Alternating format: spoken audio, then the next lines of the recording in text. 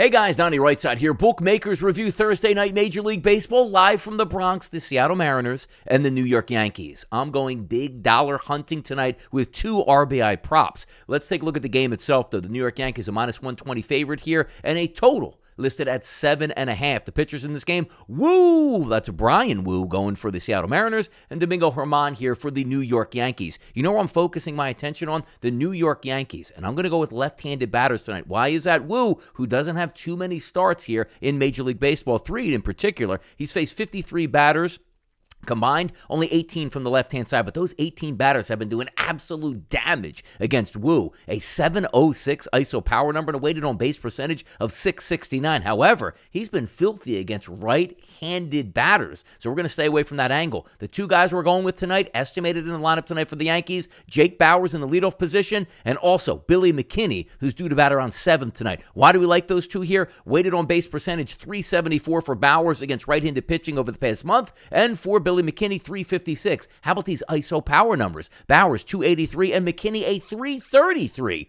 So we're going to take each one of these players tonight, a double up on props to record an RBI, but take a look at these price points that we're actually getting on. Absolutely sensational for Jake Bauers. He gets an RBI tonight. That's a plus 220 price. How about if we get Billy McKinney to get an RBI tonight? That's plus 235 price. So if we just get one of these two guys to cash in an RBI, we're living easy tonight. Both of of them? Yeah, that's going to be a party. Let's go. Billy McKinney and Jake Bauers each to record an RBI or more tonight for the New York Yankees. Let's get in, let's get involved, let's have some fun. I'm Donnie Rightside for Bookmakers Review, and as always, good luck on those wagers.